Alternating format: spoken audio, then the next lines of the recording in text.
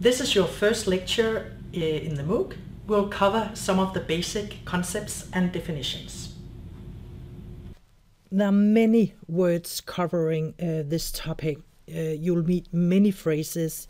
You'll hear uh, concepts such as circular economy, of course, corporate social responsibility, sustainability, corporate citizenship, green economy, eco design. Yes, and basically all kinds of words starting with eco something or green something. So it can be very confusing at times.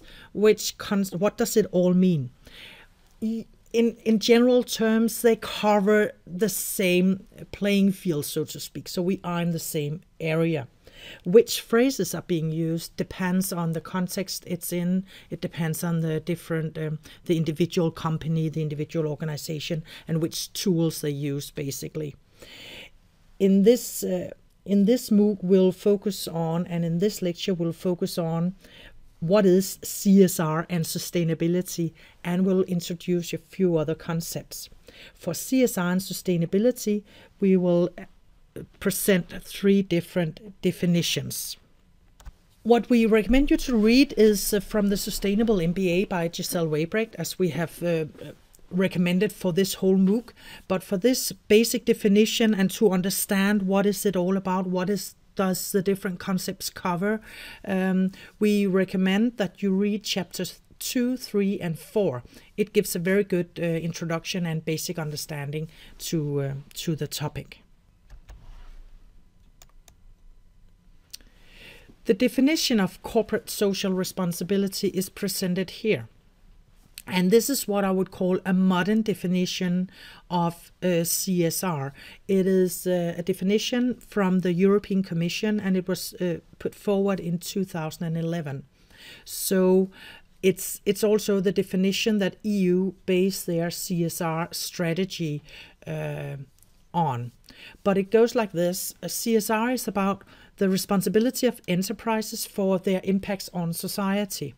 So basically, the whole basic is that um, a company doesn't function in uh, isolation. It is part of the society and it has a responsibility for that. And in order to meet that responsibility, the definition also said says uh, the enterprise should have a process in place that integrates social, environmental, ethical human rights, and consumer concerns into the business operation and into the core strategy, and this should be done in close collaboration with their stakeholders. So, in order for the company to do good business, it it has social and environmental and consumer uh, concerns incorporated. This is very uh, important. Another definition that's important uh, that you uh, understand and that we'll present is what I would call a, a more classical um, but also older framework of CSR. And it's presented here the pyramid of corporate social responsibility. This framework was presented uh, by Archie B. Carroll in 91. And uh, it there's been different definition over time of corporate social responsibility starting back in the 60s and uh, but this was probably the first time it was kind of framed in this uh, pyramid. And Archie B. Carroll says um, corporate social responsibility should be understood like uh, like this pyramid. So in the in the base in the base of it we have economic responsibility. That's sort of the whole basement the foundation for the company it has to be profitable. It has to uh, earn a profit to the owners, but also so you can uh, reinvest in the company. After this economic responsibility, there's of course legal responsibility.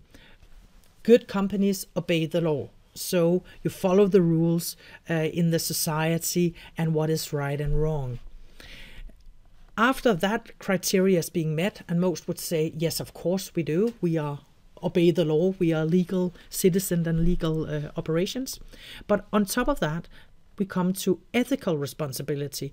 Now it's about the behavior. So yes, I follow the rules, but I'm also concerned about what is fair, what is right, and what is just, so I avoid harm.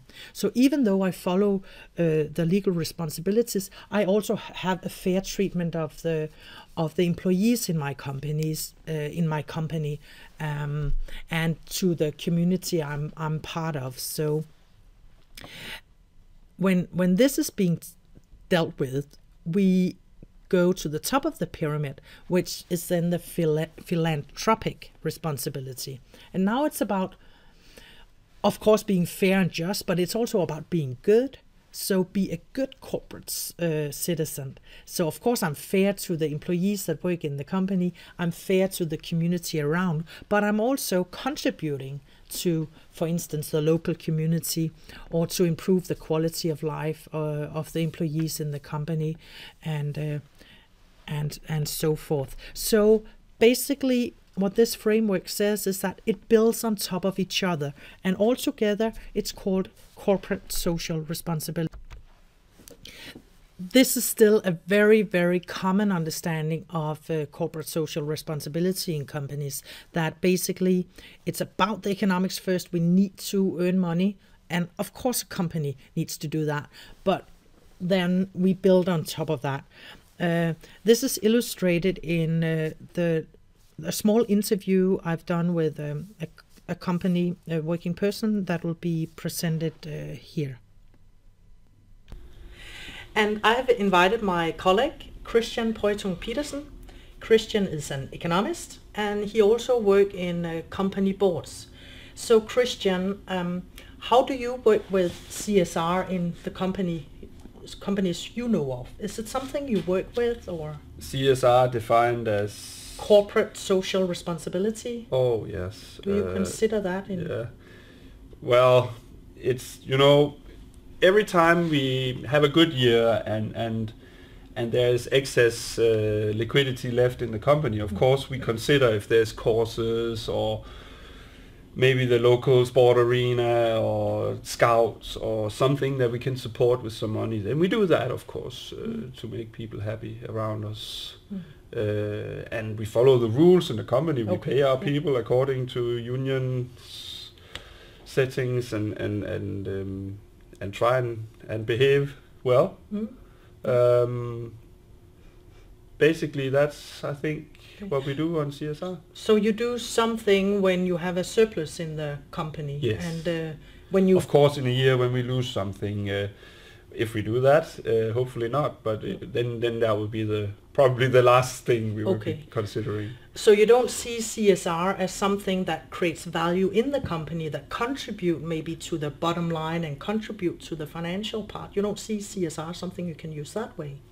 No, no, not, not really. Not really. I no think of it as something you know our workers when they're outside the company mm. if they see us there and we're supporting something they might be happy about yeah. that we are supporting that. That it's they see you as something positive. Yes. Okay. That was very interesting. Uh, thank you christian for joining us in this talk. Thank you what you just witnessed is the classical businessman understanding of CSR, or it's a widespread one. Now we'll present you with a third definition, and that's a concept of sustainability, which is also very, very uh, used.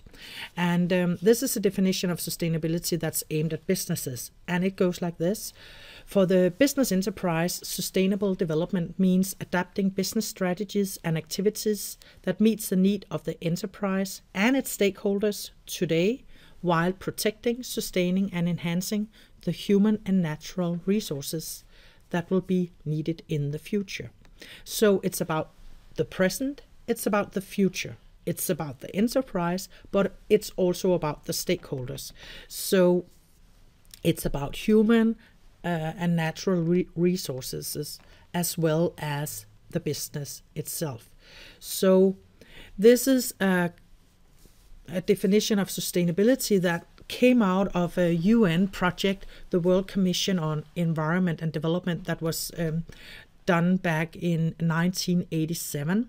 And what came out of that was a report, Our Common Future, also known as the Brundtland Report. And um, the basic definition here was also later shaped into the business understanding by the International Institute for Sustainable Development. This definition of sustainability is quite similar to the modern definition of corporate social responsibility, the one you were presented uh, to in the beginning of this uh, lecture.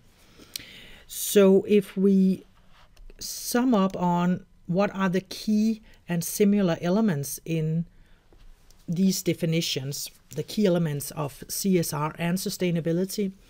It's about it's about the enterprise, or also would be the company or the organization and the stakeholders. Um, it's about the present and the future, and it's about the business and the human aspect and the environment. So, in modern CSR thinking and sustainability, everything is integrated. It's not a question of either or. I make business, and then if I can afford it, I make, I, I think socially about my environment. No, here they work together. In order for me to do a good business in economic in an economic sense, I also think uh, social and environment. It it works together. They um, give each other. Uh, they nurture each other. This definition also, um, or this definition or this understanding is also well known in the concept of the triple bottom line. The triple bottom line is illustrated here. We have the social, element of the company, we have the environmental aspect of the company, and we have the economic aspect of the company.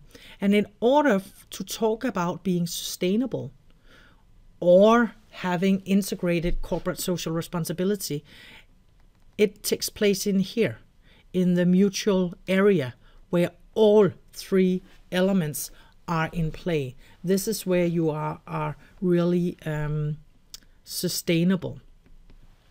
There are some other words you can meet when it comes to social, environment, and economic, and they are listed out here. Uh, we also talk about uh, people, planet, profit, where people equals the social aspect, planning is the environmental aspect, and profit the economic uh, aspect. So when you work with uh, corporate social responsibility, you can work with with all three aspects in your company. You can look at your organization and say what what social uh, aspect is is relevant here is important for us to run our business and is important in re- in our relation to our local community is uh, in relation to our our employees in relation to our customers etc etc you could look at it from the environmental aspect and say which environmental impacts do we have in our company or in our industry? And of course, you can look at it financially on the economic side, saying um, how can we maybe optimize uh, our use of resources? Maybe we can use some different materials that are. Uh, we use less of them, they are better. It means that we save uh, money and hence have a better economy here are some different examples uh, as well.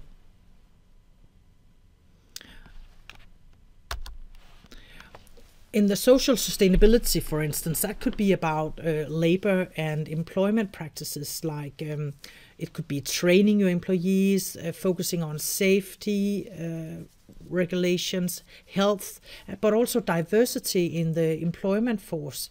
Um, that is not just a single type of people uh, you have there. There's room for for women and and yeah, diversity, young, old, etc., etc. It can be consumer issues um, where you think about that you're you don't have harmful materials and substances in your product. Uh, you use some fair trading principles. You don't say you sell something uh, that you don't really deliver, etc. Uh, it can be community issues like um, integration of disabled people, neighbor considerations, etc. That was some example of uh, social sustainability.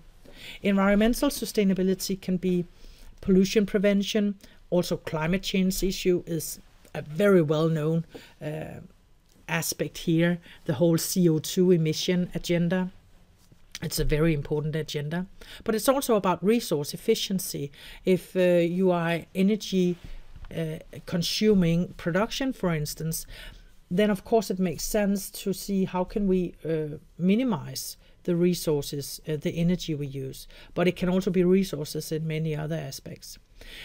It can also be a question of biodiversity that we um, make sure that we, where we have our production, don't destroy the or don't uh, influence the environment in a way that the the life um, wildlife cannot exist with us. And finally, economic sustainability is, of course, about being profitable to owners, but it's also so you can invest in sustainable development in, in production processes, material or product development. It can be about job creation. It can be about investing in supplier development. How can we optimize uh, our production uh, even more? And I can add, and so forth the list is not uh, exhaustive. It's uh, it's some examples. A final concept you need to know of is greenwashing.